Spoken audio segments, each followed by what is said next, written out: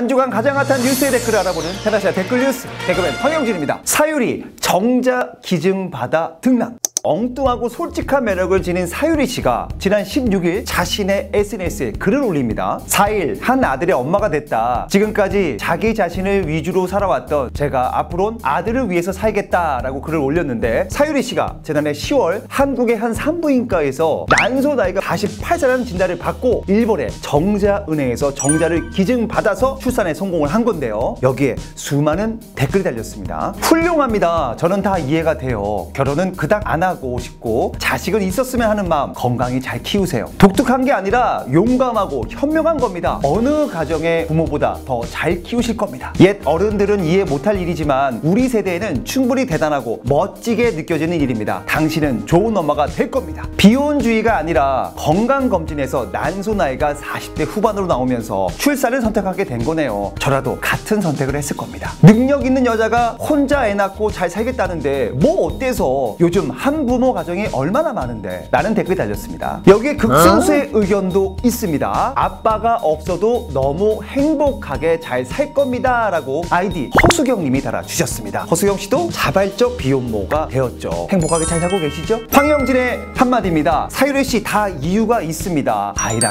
행복하시길 바라겠습니다. 제가 테나시아 댓글 뉴스 황영진이었습니다.